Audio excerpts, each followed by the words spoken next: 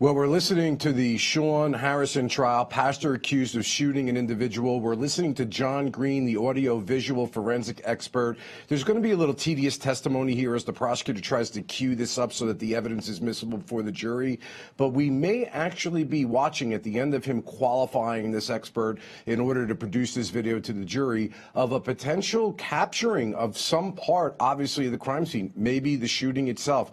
Uh, we're not really sure right now, but that's what's happening now. The prosecutor is qualifying him. He's got lots of video, lots of data. The prosecutor's office and the police did a great job right now. What you're seeing on your screen um, are the locations, a map in the middle for our Sirius XM listeners, and various uh, photographs of individuals and the camera shots. Let's go back to the testimony. Let's start with um, 18 Pompey Street.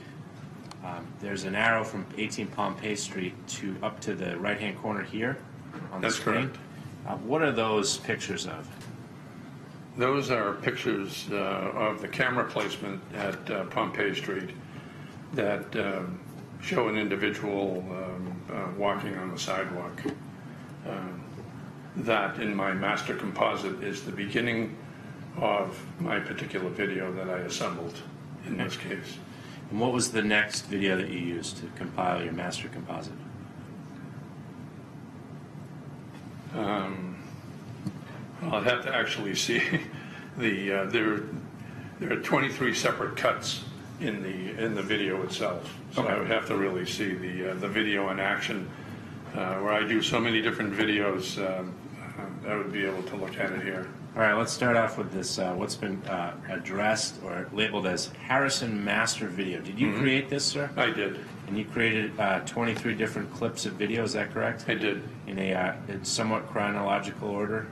They are, there are 23 clips, uh, some of them are repetitious, but it, it, uh, uh, the repetition uh, of the uh, particular clip shows something else going on in that same view. And starting off with here, this is 18 Pompey Street. Is that correct? That's correct. And that correlates with just, I'm going to do this once, but not, I think. That particular clip came from the video out of 18 Pompey Street folder in the videos organized, correct? It did. Oh, that's good. All right. And that had a different proprietary software that you had to, based upon your training, uh, tr- trans or put into a format that you could mold into one video that's all of one format. Right, what I did with each and every one of these videos in order to maintain um, consistency, you know, from each capture, uh, what I did was I screen captured everything. I have a special screen capture device at my forensic workstation back at the office. We have special software, special devices uh, to accurately uh, capture all these images, uh, and then it allows me to save it in a, um, a uniform uh, setting and then assemble everything. Okay.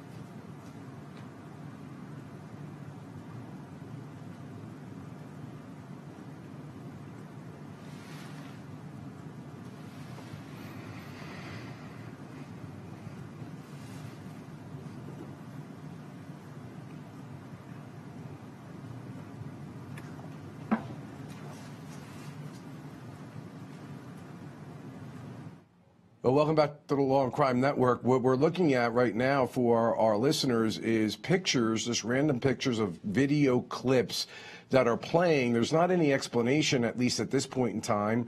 Uh, that could be a good prosecutorial uh, idea. We'll see. In the Shaun Harrison trial, this is a trial where a person who is a reverend, uh, supposedly, and an educator is accused of having shooting a boy in the head at the school at which he was a teacher uh, because of a drug deal, whether he was part of a gang. We're, we're just looking at right now random clips of people walking down the street. They're a little fuzzy, pixelated. Um, you see different colors trailers. It's really hard to identify the people. Again, there's no testimony being uh, going on right now. That's why we're talking about it. And um, I, it, there could be a technique of the prosecutor to show the whole thing first and then to back up and show frame by frame in order to do what it is that they're attempting to do with the expert, John Green. That's the prosecution's expert, trained by the FBI. He's an audiovisual forensic expert. At this time, I want to bring in Charles Mittelstadt. He is a criminal forensic, uh, criminal defense expert. Ex, I'm sorry, investigator. Uh, he's from Atlanta. I should know this. I use criminal investigators all the time. So, Charles, uh, let me ask you: What are you seeing so far in these videos, or based on this testimony? How do you think it's going to fit in here in the prosecution's case? You know, Bob, it's it's super interesting. So apparently, in this case, they have a, a ton of different video sources that they're pulling from along this route, and um, but the thing that they're teeing up is they they've made a collage, they've made a movie in this case. Uh, clearly, the defense would have been provided with all the raw footage, and uh, would have had a chance to examine that as part of their discovery. But what the ultimately what the prosecution wants to do is they don't want to uh, overburden the jury with all this raw footage that's disconnected. That's not going to make a lot of sense. They're going to want to tie it together into a nice, neat movie. Uh, the thing that, in the process of doing that, though, Bob, they're they kind of open themselves up to a lot of challenges with regard to their methods and, and video degradation. And when you take things out of context, um, I think they open themselves up to some challenges in doing so. What we've seen of the video so far is um, it's grainy, and they've talked about this. John Green has talked about how he has an expertise in looking for certain uh, identifying features in order to be able to try to make a positive identification, which would suggest to me that there that there's not going to be anything that's so compelling that perhaps the jury's just going to immediately uh, uh, recognize uh, the individual in, in this uh, in this video montage to be the defendant, and so they're um, trying to tee up this uh, John Green as an expert who is uniquely qualified to uh, assist in making that identification. But of the video that we've seen so far, it's, it's pretty grainy. Yeah, and for our Sirius XM viewers, what we're seeing right now are various cars passing by, as Charles indicates. It is grainy. But, Charles, there were a couple of videos that were shown, and again, we just don't know how relevant each of these videos is to the prosecutor because we're seeing them as they say adversary items, one after another after right. another without any kind of context. Um, but there were some some individuals that were actually highly defined, um, and, and, I'm curious as to whether those were cleaned up. But I agree with your point, and I think it's a good one. When you're trying to segregate these videos as a prosecutor uh, or as a law enforcement expert, you better make sure you're squared away. It's perfectly done because I've seen these videos blow up because it just wasn't done correctly, and a good defense lawyer could tear them apart. But these look pretty authentic, um, uh, you know, to me. So what do you what do you think? Are they going for the ID? Is it a mistake, do you think, to use this when they've had such powerful victim testimony? I, I think they have to go for the ID, Bob. I mean, here, this is a case that's made up of uh, a few key components. One is going to be the ID by the victim himself, right, who positively identifies um, uh, the reverend as the shooter. Uh, then they, uh, the, the video would be in this in the CSI age that we live in now. The jury is going to, knowing that there's some video now, that there's video that's involved as part of the prosecution's uh, case in chief. Uh, it, it better have some value, better have some weight to it, other than just showing a couple of figures walking down a, on a dark, snowy night, right? So. Um, I, I would sense that my sense would be that they they do at some point have to uh, hope that the jury is left with the impression uh, uh, that this is, in fact, the defendant who appears in um, in this video montage. The challenge I see is it's unusual, frankly. Uh, it's rare that you see a case where you have that many different sources of video. Yeah, it seems like. The, I'm sorry. It, it seems like because of maybe the, the length of the route of travel that was taken uh, on foot, that there were a number of businesses along the, the way, but the, there's a, over a dozen different uh, video sources, each uh, separate independent capabilities, each different levels of quality, um, different sort of resolution, lighting. Uh, so uh, it's a challenge. Yeah, yeah. There, there's an awful lot here. Just so our, our view, our viewers and listeners uh, understand what's happening now. Again, we're just seeing random clips, uh, some pixelated, some not, of cars driving by. Um, and I guess that these were all put together, as, as Charles indicates, in a kind of montage that hopefully at the end will make some sense. Um, listen, I'm asking the viewers, as you guys know, I love to answer your questions. Charles, there, there were four questions that I've identified that need to be answered. I, I think that you heard some of the victims' testimony in this, and I kind of want to jump back to it while we're just watching these random videos right now, really of no activity at all. Sure. And um, let, let's go to minor fourth, and one juror matters, because they essentially had the same question, and I think it's a good one. Now, there are serious questions that the, these uh, viewers on Law and Crime Network that and asked, and then really serious ones. These are the Okay. serious ones. Uh, is there any motive for the victim to lie as to who shot him? And one juror matters actually said something that we were laughing about off camera. Santa has a bag of weed and toys. We were we were talking about how he looked like a Santa without the outfit on. But do you think that is that a compelling a compelling statement that why would a person lie about who it was that actually shot them? Sure, there, there absolutely could be other reasons. I mean, you may want to frame somebody else because maybe your life has been threatened.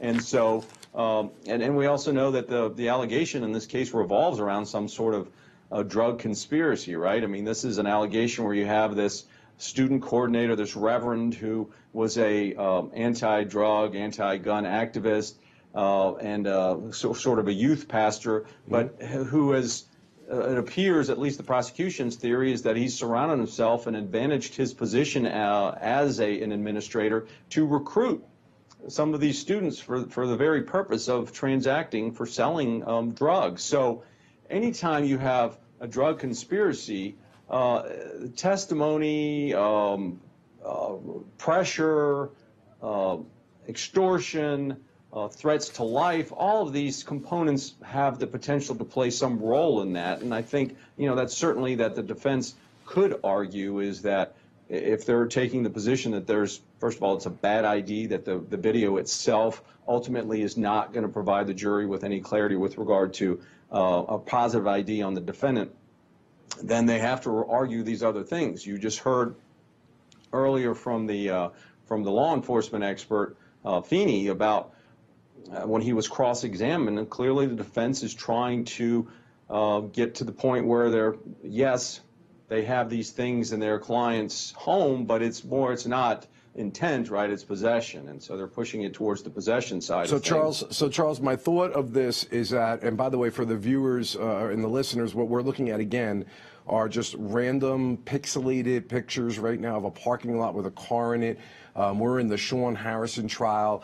A supposed Actually, we see somebody running on the video, so it, I don't know if there's any testimony in court. Our great producers. Okay, so there's no testimony going on, but we just saw, we see people running now in the video, and it, it's it. Around the time of the shooting, there was one person running in one direction, another person running in, in an, another direction. Um, so you definitely see some activity on this uh, video. And it's my opinion, Charles, that what the prosecutor is going to do is loop the testimony of the victim by this video. The video doesn't have to be absolutely conclusive, but what, and we see now another another angle of an individual running um, down the street, and now we see another angle. We don't know if this is the same individual or different individuals walking very quickly down a snowy street with a little uh, pathway cut between a lot of high snow. So we definitely see a video with a lot of activity. Now, um, for those who are listening, we see an, another video of a person going towards or inside of a building. So I think the courtroom is back testimony. We saw it right at the end. Let's get back to the courtroom and, and hear what we saw. Welcome back to the Law and Crime Network. Don't worry, there's nothing being testified to in court right now. To our Sirius XM listeners, it's great to have you on board. We just looked at some, I think, pretty compelling, even though it was pixelated, a little grainy. But we see at the end of those videos that were compiled a lot of activity going on, and at least a person, potentially more, because there's so many video cameras. I think the prosecution's using this to loop in the victim's testimony as well as the drugs and the gun and the other cash that were found in the pastor, quote unquote, home in order to just use it as a piece of evidence, maybe not necessarily a definitive piece of evidence. Charles, what are your thoughts about um, what you saw right at the very end of that? With we went through a couple of minutes of almost virtually nothing, and then bam, we have all this activity. Yeah, that potentially is the victim. That looked like, uh, to me, it looked to be a, a younger man there, Bob. And so, I, and I, by the way, absolutely agree Okay, with you. I'm sorry to cut you off. Let's listen in because they're back to testimony.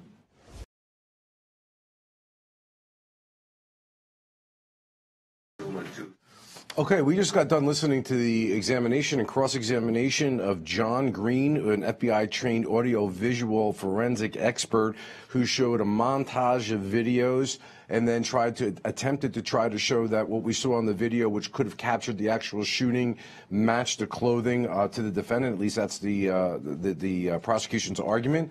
Um, but Charles Mittelstadt, uh, who is a criminal defense investigator, he's actually on the other side of this, preparing cases for defense attorneys who would actually be bringing cases to court. I said that there were two extremely uh, two important questions. We read two from the viewers. But there was also two extremely important questions. They come from BB 314 and Bone 7616. I have to mention them because both of them asked the same kind of question. I don't get it. BB 314 is asking me if I make good ragu. I don't know, Charles, why did I ask a guy with a vowel at the end of his name that question? But Bones 7616 asked whether it's uh, I make a good gravy. Listen, yes, I make a great gravy, not sauce. It's gravy, not sauce. Listen, Sure. we're Charles, real quick, give me 15 seconds or less. What'd you think of the ultimate testimony? I don't think the defense touched them. No, I was shocked at the cross-examination. I mean, there were so many other things that they should have explored. I mean, I was shocked when he sat down. It's Okay. unbelievable. Well, listen, we're going to talk about that on the other end. We're going to do a real quick break, and we're going to come back to this case right after the break.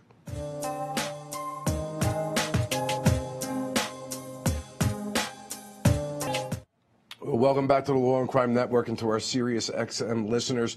Charles, I'm really glad I got that gravy ragu thing, those two questions asked. But perhaps more important than that relevant subject was the testimony of this particular forensic expert.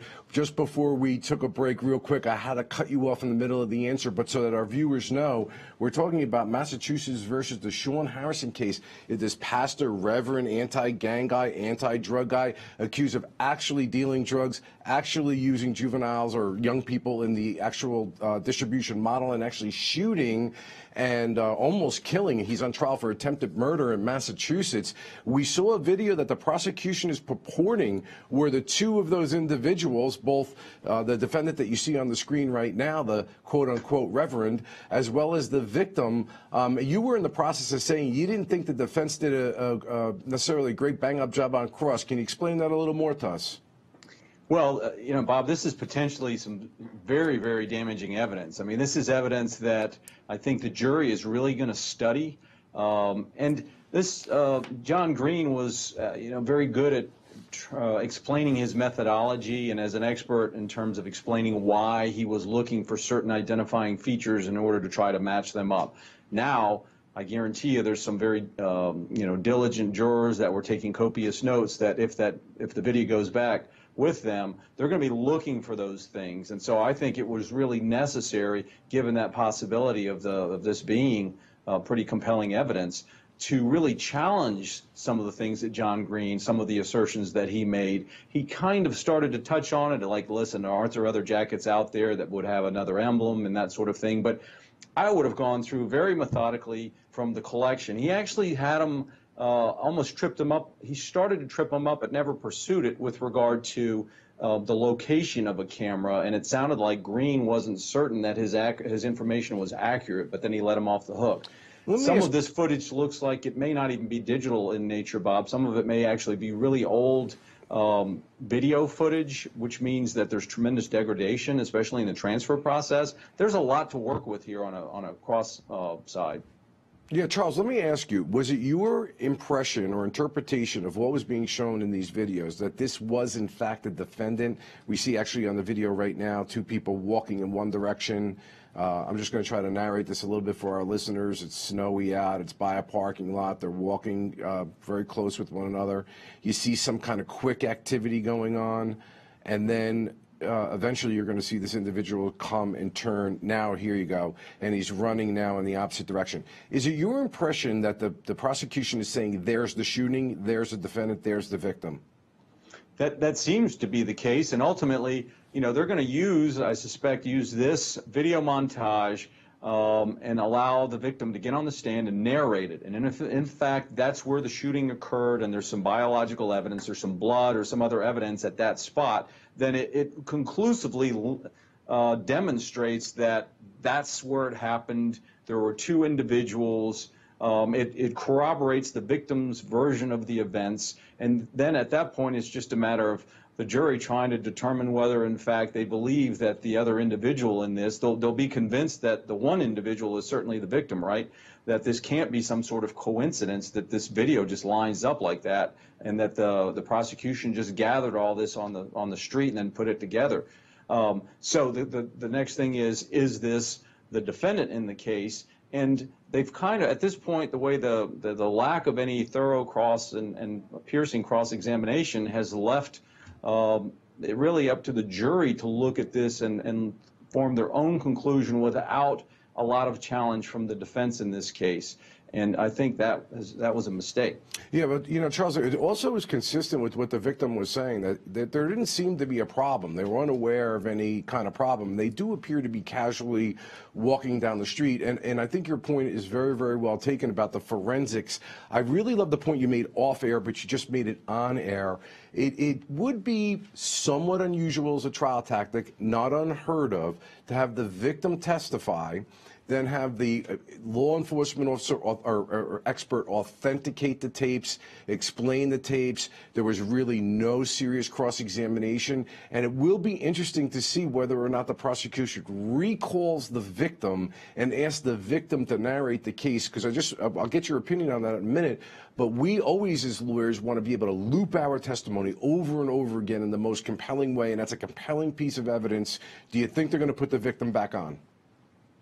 I would, uh, in my opinion, that would certainly be the most compelling way to flush out that evidence, to connect the dots for the jury, and to have the, the, the victim himself, who is best positioned out of anybody in this case, to narrate this video and to help the jury understand what was going on, what the conversation was, how it is they came to be walking on that street together, the context of that interaction between the two of them, and then his uh, supposed shock at being shot, and then the, the defendant taking flight. So I, I can't imagine who would be better positioned to do that than the victim himself. Right. So, I mean, actually, listen, I'm just looking at one of the comments, and I'm curious about this from one of our viewers, Baltimore Joe. And it's, um, I hope it doesn't go too quickly here, but it says, you, Bob, Prost doesn't need to ID Reverend via video, only that he is walking side by side, and that bolsters the victim ID of Reverend. Had it not been for this video, defendant could claim the video showing the shooting um, that the shooter snuck up and wasn't seen by the victim. What do you think about that? I think it's a pretty astute comment. I agree. I don't think. Not only do I not think they're not going to be able to get a uh, you know a conclusive positive ID based upon the grainy footage, but I, I agree. I don't think it's necessary. It really becomes almost uh, uh, kind of a circumstantial piece of evidence in the case to show, look, this is this corroborates exactly what the victim is saying, and um, his testimony is reliable, and there would be no other reason for him to finger anybody else. Um, eh, clearly, whoever he was walking with, he knew they were walking side by side for, some period of time. So then the jury please. would be left with the impression or, or, with the question, why would he possibly implicate, implicate somebody else in this? Right. Okay, Charles, listen, I really appreciate that. My, my producers are awesome here telling me that we're going to take a clip real quick to the drug control unit. And on the other side of that, I want to ask you some thoughts about that as well. Great.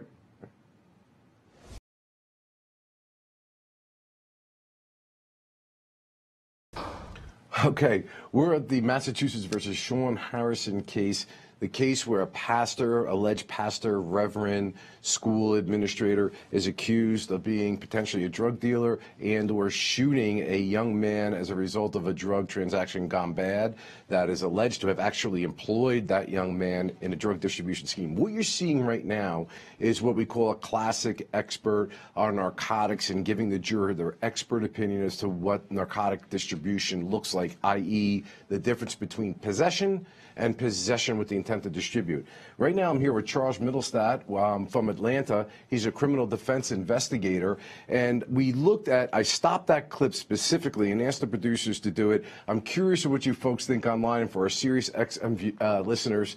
When you just so you know for the the listeners, this bag, Charles, was I I guess about two feet by two feet by two feet. It was a huge bag filled uh, with what has been tested to be marijuana, and it, it's such a powerful piece of demonstrative evidence in front of the jury.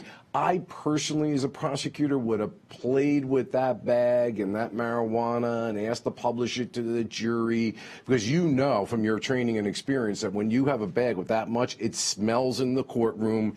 It's got a very distinct odor. It's a very powerful piece of demonstrative evidence. But I mean, is there going to be a juror in that jury box that's going to think that that is for personal use? That's a that's a high hurdle to overcome um, to try to defend the presence of a, a quantity that sort of quantity uh, for personal possession. But at the same time, though, Bob, you know the, the prosecution has a high hurdle to overcome based upon the fact that this reverend is well known to the community. He's well respected. He's in, been involved over the past few years uh, in different initiatives, anti-gun, anti-gang. Um, initiatives. So he has these accomplishments that I think the, the prosecution realizes is going to make it difficult for the jury just to accept that this guy could have gone rogue uh, like this in spite of the fact that he has all these other um, accomplishments and feathers in his cap. So, you know, there, there's high hurdles on both sides, but that's a tough one to explain away. well, that's the criminal defense investigator coming at you, and I appreciate that perspective because you are right. There's a lot of quote unquote credibility with all. He worked even in conjunction with police departments, anti-gang and anti-gun and uh, anger management counseling. But the bottom line is, you got a ton of weed in your house with gun and cash, and you're walking down the street allegedly with a guy who winds up with a bullet in his head. So I think I think the hurdle uh, is is a uh, is a mountain too high, even for the Reverend to uh, you know overcome in this scenario. So listen, uh, folks, we are going to take a uh, quick break, and on the other end of this, we're going to continue to discuss the Massachusetts versus Shaun Harrison case. Again, this Boston pastor educator who's accused of actually soliciting young people to deal with drugs and actually shooting a man in the head, charged with attempted murder. Because amazingly, and boy, Charles, we've seen this before. I say this all the time. It's crazy. Shot him in the head and he lived and is actually testifying as a witness against this quote unquote pastor. So we're going to throw it to the break, and on the other end that, we're going to come back with some more law and crime.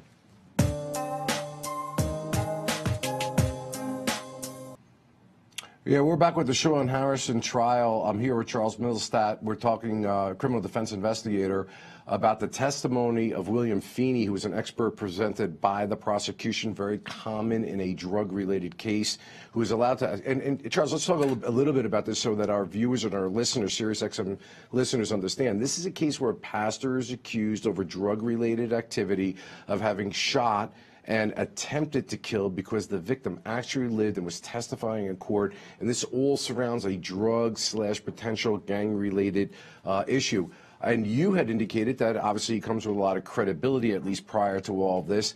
This forensic um, expert is testifying about his opinion. And in a court, uh, I'm sorry, in a court, these gentlemen are allowed to tell you, based upon their training and their experience, they're allowed to do more than just facts. What they saw, what they heard, what they smelled, what they tasted. They're allowed to actually offer an opinion. And the defense attorney has an opportunity to then cross-examine that opinion based upon the facts that were relied upon in that expert in coming to the opinion. Now, I've handled and seen um, drug experts like this be cross-examined um, by some of the best in the business. I was a little surprised that there wasn't a little bit more of an aggressive cross-examination because he did give some sweeping general conclusions, although the defense may have said, as we were talking just prior to the break, um, geez, maybe I just need to get out of this because that bag, a huge suitcase like bag of marijuana is just too powerful to overcome and it came from my client's house. Sometimes when you stand well, stand still, get out. What do you think?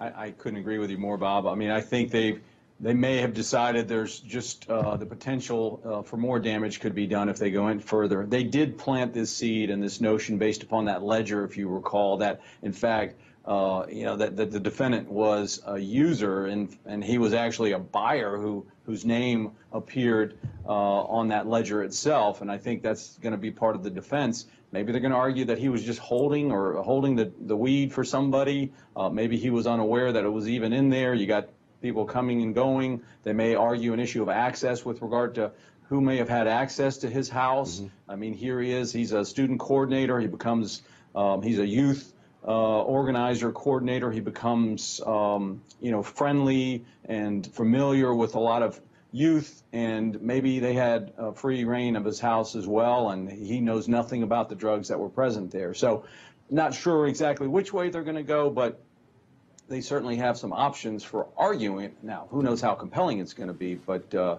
uh, you can you can kind of see which direction they're going to be going with their with their closing argument on this. Those those are all good points. And when we would be investigating these drug cases, and there would be a significant quantity of drugs in people's homes, we often talk about this, Charles, that the prosecution side or the lawyer side would always want more evidence. We'd want forensic evidence attaching those drugs to the person, fingerprint evidence, something that showed that they exercised dominion and control over that, and to avoid or to block the very arguments you're making that it may have been a plant or somebody may have put it there, and this is just an unwitting person. Now, obviously, the drugs in his home uh, is a significant piece of evidence for the prosecution, but let's not forget, and for our, our listeners, XM listeners, and for our crime, uh, law crime followers, you know as well as I do at the end of this case, the judge is going to instruct them that they can find the person not guilty for a lack of evidence or failure of the state to have done something that you would have expected that they've done. So maybe the defense does have an expert that they're going to put forward, and so they didn't really need to go after this guy,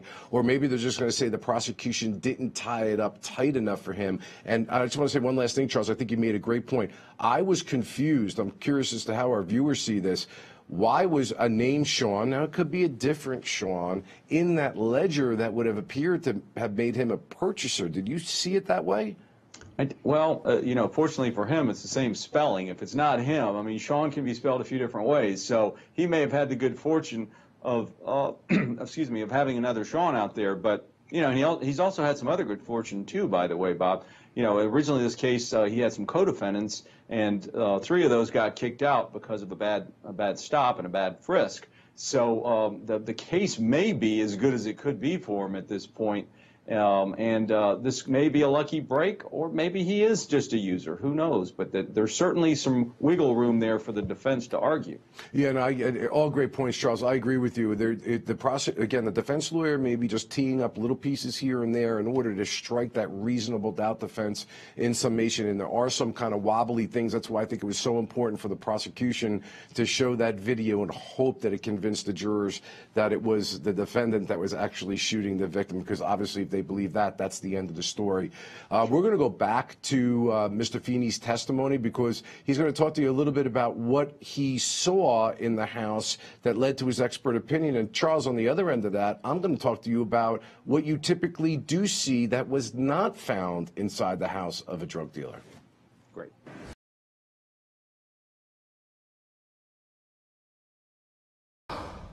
Welcome back to the Law and Crime Network. Uh, myself and Charles are trying to break down some some questions that we were having while we were watching that testimony from Mr. Feeney. Just so you understand that testimony, it is in relation to the Shaun Harrison case.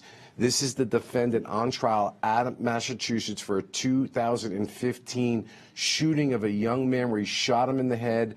The man, young man survived actually testified against him on his attempted murder charge. And this was all surrounding this person, this defendant, Mr. Harrison, who had a reputation in the community of being a community leader, a quote unquote pastor or reverend, a person who worked at the school. But the prosecution's argument is it was really a Jekyll and Hyde. It was a person who was really behind the scenes dealing with young people in a drug distribution scheme. The expert that we're listening to is actually talking about the nuances and giving his opinion about the items that were found inside of Mr. Harrison's home, which included significant quantities of marijuana, scales, packaging materials, and things that would be consistent that those drugs that were found were for the intent to distribute and or distribution as opposed to ordinary possession, not to mention a ledger and um, I don't know, you know, Charles, how do we explain this thing? Like good week, bad week, uh, numbers all over it. I mean, that's certainly incriminating to find inside of the defendant's home. if it, do we know that that was found inside the, the defendant's home, Bob? Do we know the source of that? I mean, if it was, then that seems uh, like something that's very, very difficult to defend. Obviously, I mean, you have all these things, uh, but the one thing that we don't have, and we just heard this on cross, and it's it's uh, a significant part of the defense's cross is, you know, what would you typically expect uh, a drug dealer to have in large quantities in his or her home? And that's cash, right? Where's the cash? Right. Well, they, you know, they did find some cash. What was interesting to me, they found cash in a shoebox. It may not have been in the home, but off-site at a storage facility. Um, but I, I do agree with you that it's you would have, and they may have done it and not found where that cash went because people launder that cash all the time and find various ways to move that cash around so that law enforcement can't find it. But also the denominations of the cash are very important in drug cases. Uh, most drug dealers that are dealing significant amount of dr- drugs are going to have, you know, we used to have these guys coming in trying to say, hey, this is my paycheck, and they got like $5,000 in fives and tens. Um, and it just wasn't believable. And it was seen as the uh, an expert like this would testify part of a drug distribution activity. But we don't know the definite answer to that. But one of our viewers uh, had had actually um, asked this question, and I think it's really important, BB 314, as to what exactly are the charges in this case, because it is a little confusing. We have our producers actually working on to see if there's anything more, because me and you were talking off screen about are there drug related offenses here as part of the charges? But what we do know is that there's armed assault with the intent to murder. That's what most people call attempted murder. Aggravated assault and unlawful possession of a firearm. So it's all of the violent crime pieces to this. Um, so what do you think about that? I mean, I, I, I can't see any reason why they wouldn't have brought drug charges. Maybe they did, but we're trying to find that out right now.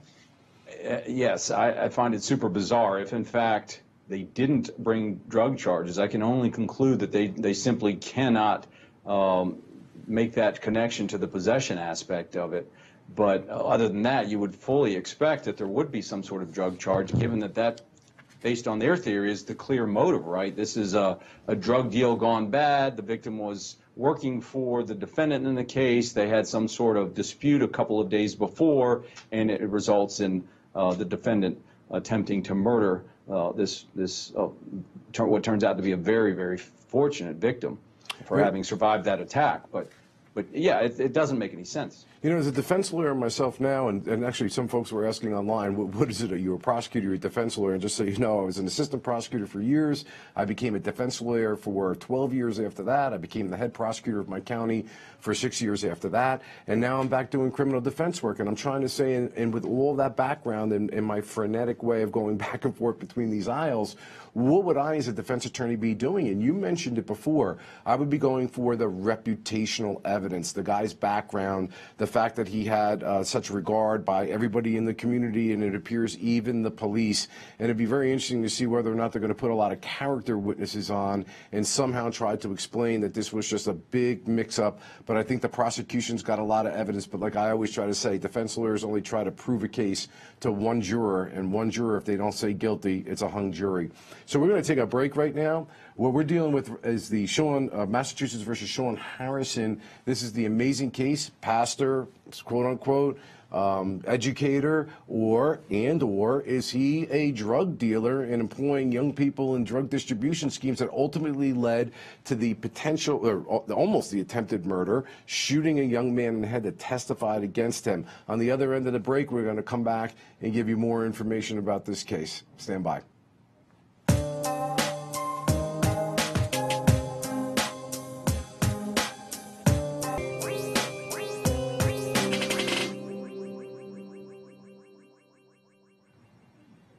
Welcome back to the Law and Crime Network and to our Sirius XM listeners.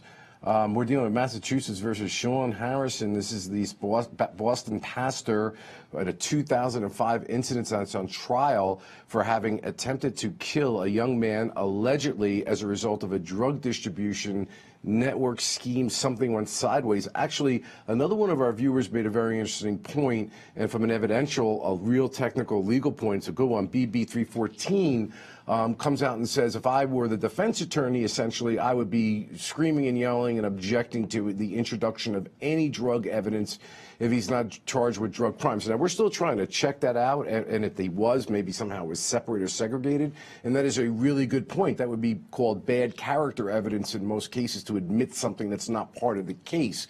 Here, though, Charles, it's my suspicion uh, that the reason that it would be admitted is it goes certainly to motive or explaining why it was that this whole thing took place. And judges do give discretion for prosecutors to be able to put an incident into context, especially when that incident is disputed. I think it's a very astute question. What are your thoughts? I agree, it is.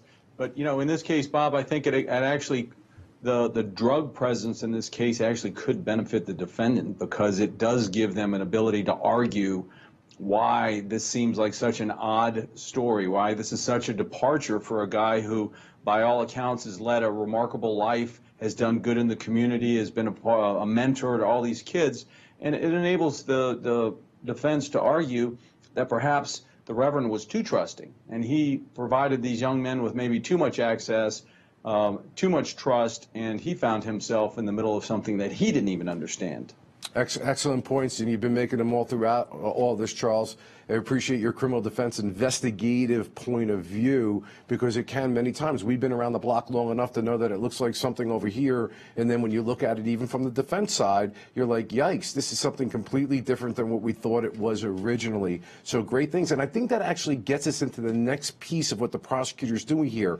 I see building blocks. These witnesses are strategically being placed for a reason because the very next witness after that expert drug witness that the, the prosecution called was the video audio analyst that actually showed for the prosecution through a compilation of videos various activity of individuals moving around based upon the many camera angles that they had received from various locations.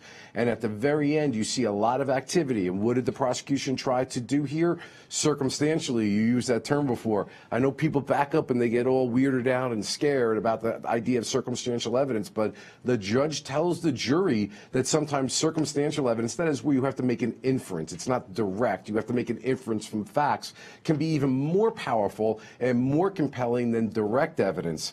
This particular witness, Charles, just let's get your pre thoughts before we let the viewers and our Sirius XM uh, people who are listening to this uh, back to that videotape. But I believe the prosecution is using this to say, look, here it is. We see this on video, and here's our expert in court showing you the clothing of the defendant, and these things match. Do you think he's doing it because the prosecutor, because he's concerned that there may be some wobbliness in this case? Well, I think they're not going to leave any stone unturned. And here they have this um, great digital, this, this evidence at their disposal, which absolutely corroborates the victim's version of the events. Really, the only question that the prosecution has to uh, conclusively answer for the jury is who, who the shooter is, right? So uh, there's no reason why they wouldn't use it. And actually, this expert does a good job in explaining his methodology in terms of how he went about compiling this um, sort of uh, this movie basically that he built based upon all the various sources of evidence that that was found out there. Um, but it's still the central question still is does he go far enough? Are some of his uh, conclusions assumptions that he's making and the things that he's basically I think what he's really doing Bob is educating the jury as to what to look for. When they look at this video with their own eyes, what should they be focused on in terms of trying to make that connection to the physical evidence that they've already have, meaning the, the, the, the jacket, the gloves, etc as well as the confirming or supporting or bolstering the victim's testimony in the case. And like you said, and it was a great point, let's see if that victim gets back to explain that video. That would be interesting. But hey, listen, folks, we're listening to the Massachusetts versus Shaun Harrison case where a pastor slash educator is accused as a result of some drug related activity of shooting a young man in the head who survived, testified against him. And we're going to show you more testimony from the prosecution's forensic expert that took this video. He showed it, put it all together. Hopefully, we'll see the end of it because it's kind of like very pixelated and kind of hard to figure out in the beginning. But at the very end, you're going to see a lot of activity. Question is, does this prove that the defendant shot the victim.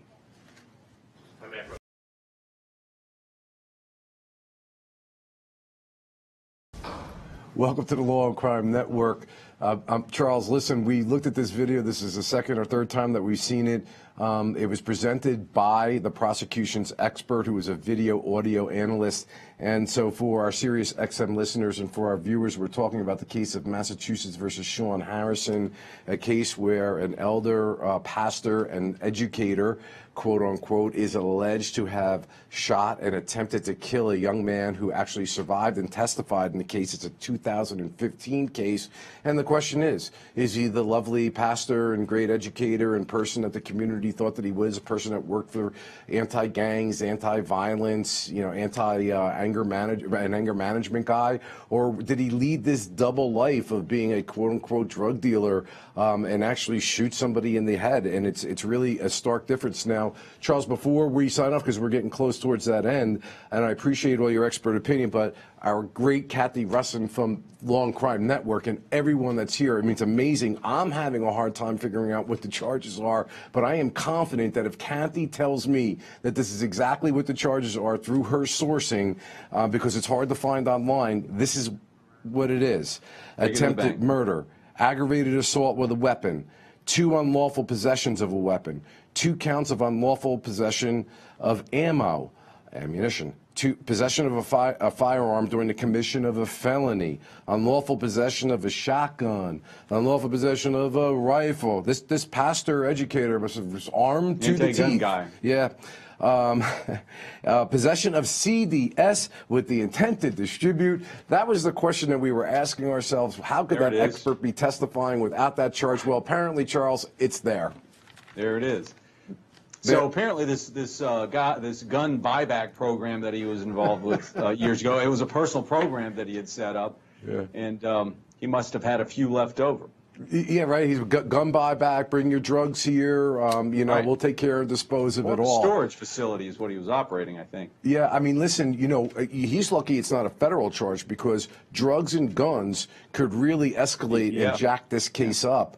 Um, fortunately for him, it's it's in the state court. Not that if he gets convicted of these things, he's not going to serve a very very lengthy uh, prison sentence. But the testimony of, of what we saw, the two experts. One is the drug expert that's telling them this is essentially a possession with intent to distribute. Here's all sorts of things consistent with drug dealers. This video testimony matching it to the clothing of the defendant, I think, was relatively powerful evidence. What are your thoughts? I agree. I mean, it, it's they're slowly and very methodically building their case. Um, you know, just by by introducing, and we kind of talked about the you know the value of that video, Bob. And the, the fact of the matter is, at the end of this, they're in a position to say, look, you saw it with your own eyes on video. Now, you and I know that it's not crystal clear, but they're actually in a position to argue that. And you know, juries need that these days. They expect that. We see shows, these law and crime shows that are solved. It's a crime that happens and everything's solved in an hour, right? So the jury has this expectation that when they sit in a case, that the, the, the prosecution is going to make the decision very easy for them and they're going to provide the smoking gun evidence and they don't necessarily have to pay a lot of attention. And they've come to expect that and it actually has had an adverse effect on prosecutions. Well, I'll tell you, when, when I started prosecuting cases, uh, we were trying murder cases with blood evidence but no DNA, no significant forensic. We should just do it by old fashioned common sense and building, building cases together. I do agree with you when people are watching this that prosecutors, we find ourselves many times in front of a jury saying, this is not one of these crime shows. It will not be solved because somebody looks at a piece of dirt and says, oh my God, Joe did it. It won't be over in half an hour. It's a sloppy process, but we do have to actually address that when we never had to before.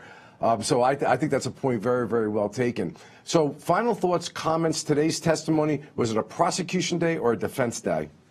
Oh, I, I, based upon the cross examinations that I saw. Listen, first of all, any time that the case, it's when the state is presenting their case in chief, it ought to be the prosecution's day every day, right? If the defense is scoring points on their witnesses, then that's a bad day for the prosecution. I didn't really see that with either one of the witnesses that we watched in the last couple of hours, uh, neither uh, William Feeney or John Green. The the cross examinations were actually rather limited, as we've as we've commented on, and uh, not a lot of points were scored. So, in my opinion, it's it's clearly a prosecution day. You know, listen, I agree with you, but as a paranoid prosecutor on trial, I'm always saying to myself, will the jury just find something like in that video that they're going to say, why didn't we know definitively from it? Listen, folks, it is towards the end. I want you to have a happy and safe Memorial Day. Law and Crime Network, Sirius XM viewers, thanks for watching. We'll be back shortly.